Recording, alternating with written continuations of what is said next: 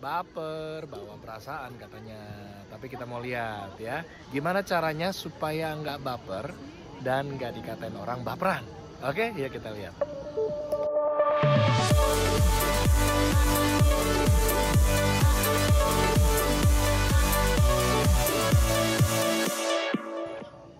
Hai, salam dari Coach Joshua Sutanto di Leaderpreneur Experience. Kita mau bahas hari ini gimana caranya supaya nggak baper bawa perasaan, alias gampang tersinggung, atau ada orang yang bilang ya mungkin uh, ya, ya sensitif gitu ya. Oke, karena banyak yang tanya sama saya, kok bisa sih nggak gitu baperan dan bisa tahan?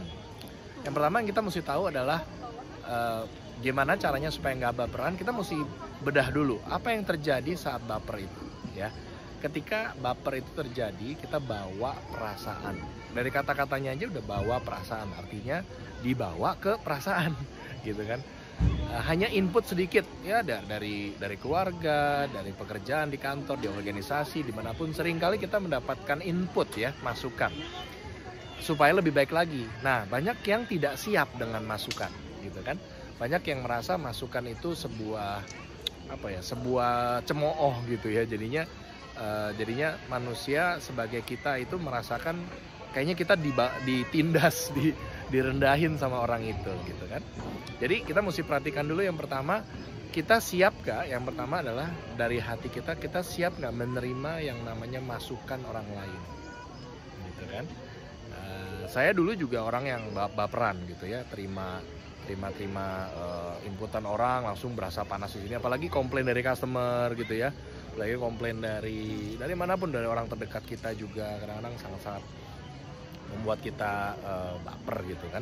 Nah yang yang menjadi kunci adalah jadi kita harus siap menerima FF harus mau. Kayak kayak orang mau makan kalau nggak siap terima makanan pas dapat makanan tuh bisa muntah betul? Ya ketika kita nggak siap atau lagi nggak lapar atau lagi sakit deh gitu ya lagi sakit. Kalau kita lagi sakit nggak merasa mau terima makanan masuk gitu kan padahal sebenarnya perlu. Nah itu sama seperti uh, hati kita ketika kita merasa nggak perlu nggak perlu masukan orang atau feed forward yang saya uh, yang saya sebut feed forward uh, bukan feedback. Kalau feedback itu ke belakang yang dibahasnya di belakang ini feed forward ke depan ya.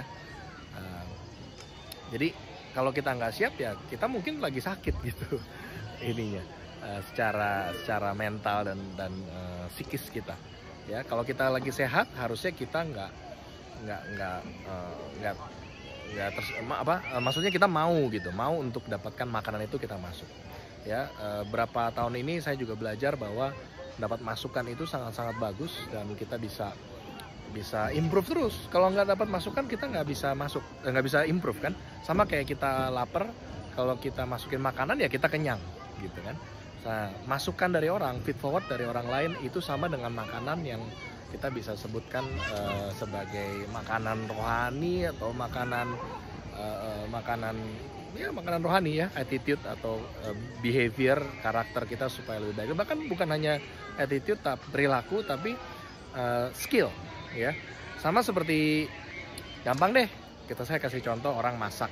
Masak nasi goreng terus kita udah masak nasi goreng kita sebaik mungkin terus ada yang bilang nggak enak gitu keasinan. Hmm.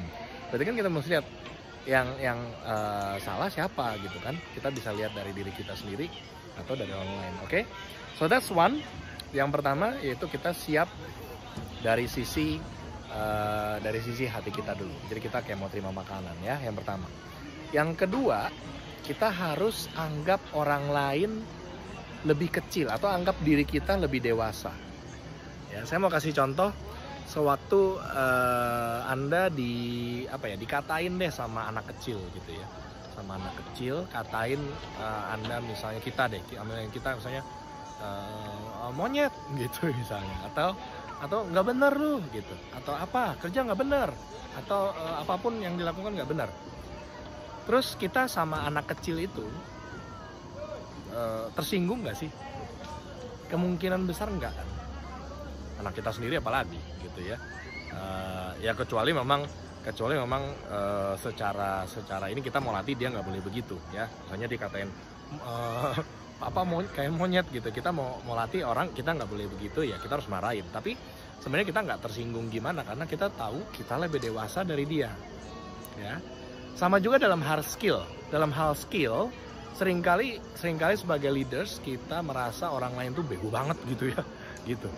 Tahu nggak? Kenapa? Karena kita ya lebih dewasa secara skill. Yang baru magang yang baru kerja ya dia belum tahu. Makanya harus dikasih tahu makanya harus belajar dulu. Uh, misalnya misalnya uh, kita pakai contoh gampang ya. Anak kecil uh, tiga kali lima nggak tahu dia. Aduh nggak tahu. Ya karena memang levelnya masih kelas 1 belum belajar kali-kalian gitu kan. Kita mungkin udah kelas 4 atau kelas 3 yang udah belajar kali-kali 5 kali 3 ya gampang 15 lo masa gitu aja mikir, mikir masa aja gitu aja nggak tahu. Seringkali kita begitu. Uh, when uh, when something is is not uh, is new to them it's called knowledge. Tapi ya. Uh, sesuatu yang baru buat seseorang itu pengetahuan. Oh baru tahu 5 kali 3 itu uh, gimana? Dulu saya juga masih kecil 3 kali 5 hafal aja 15 nggak taunya saya baru tahu oh 3 kali 5 itu tiganya ada 5 kali gitu. Jadi 3 tambah 3 tambah 3 tambah 3 tambah 3 5 kali. Ya baru baru ngerti gedenya. Ya jadi uh, perbedaan skill perbedaan kedewasaan itu sangat penting buat kita semua. Uh, jadi kita mesti anggap diri kita lebih dewasa oke? okay? Jadi yang pertama tadi kita harus siap secara hati untuk terima masukan sama seperti makan. Kalau nggak kita kayak orang sakit nggak eh, nggak nggak pengen makan. Yang kedua kita harus anggap diri kita lebih dewasa dari yang lain gitu ya. Lebih dewasa dari yang lain. Oke yang ketiga. Nah masih ada nih yang ketiga. Yang ketiga kita harus anggap orang lain itu belum tentu salah. Artinya uh, ada prinsip yang namanya graceful pernah dengar namanya graceful? Grace. Grace. Kalau di muslim itu kalau lebaran itu ada minal aizin wal faizin gitu ya. Memaafkan lahir dan batin. Wah itu keren banget. Uh, suatu konsep keren yang yang harusnya semua agama punya gitu ya. Di yang lainnya juga Kristen Katolik uh, juga ada. Uh, prinsip memaafkan anugerah Tuhan pada kita udah besar ya kita harus maafin orang lain. Harus mengampuni karena Tuhan udah ampuni kita. Di Hindu juga Buddha ada Honopono itu juga ada ya uh, kita harus minta maaf dan memaafkan. Jadi dua hal yang perlu kita kuasai. Skill ini susah banget.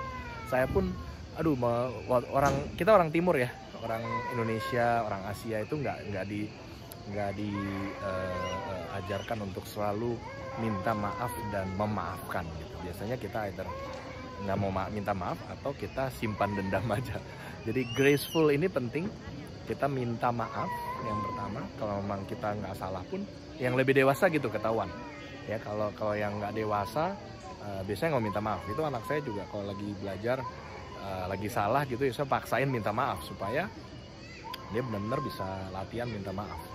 Dan yang kedua uh, yang dan seterusnya itu kita minta maaf dan juga mengampuni orang yang uh, yang bersalah maupun nggak bersalah sama kita gitu ya. Jadi yang kedua itu yang selanjutnya ya, minta maaf. Yang pertama tadi kita siapkan hati yang kedua kita anggap lebih, diri kita lebih dewasa dan yang terakhir kita anggap uh, orang lain belum tentu salah. Ada juga bahasa uh, suzon suzon atau atau prejudice ya. Kita menganggap orang lain salah mulu gitu. Kita anggap diri kita kayaknya uh, korban mulu gitu. So jadi korban banget gitu. Semua orang kayak jahat sama gua gitu ya. Seorang dunia kok kayaknya uh, jelekin gua bukan jelekin sebenarnya kalau mereka kasih masukan ini satu kata-kata yang penting. Kalau seseorang kasih masukan berarti dia peduli. Saya saya kalau di restoran saya anggap restoran itu bukan restoran saya saya anggap ayo udah biarin aja. Tapi kadang-kadang saya peduli saya kasih masukan sama sama waiternya sama masnya atau mbaknya mas ini kayaknya kalau lebih baik begini. Karena di hotel ataupun di mana saya suka tulis tuh uh, evaluasinya gitu ya supaya dia lebih baik lagi gitu ya. Jadi uh, yang selanjutnya juga kita harus sadar bahwa uh, orang lain itu peduli sehingga kita anggap itu sebagai makanan gitu kan. Yang dikasih makanan malah marah. Dan kita harus memaafkan tadi graceful ya. Uh, kita mau maafkan orang lain dan minta maaf oke? Jadi empat hal itu yang penting. Yang pertama kita siapkan hati untuk terima feed forward. Yang kedua kita anggap kita lebih dewasa dan yang lain lebih kecil kalau memang uh, supaya kita merasa nggak cepat uh, tersinggung. Dan yang ketiga tadi kita harus sering-sering uh, gampang dan minta maaf dan memaafkan. Ada skill lagi nanti kita belajar di video saya yang berikutnya bagaimana cara memaafkan yang benar mengampuni karena itu nggak gampang memang ya. Karena kita saya sebut kalau kita simpan dendam itu namanya goblok kuadrat. Nanti kita jelasin ya. Oke sekian dari saya. Uh, di sini sudah hampir malam dan hampir gelap.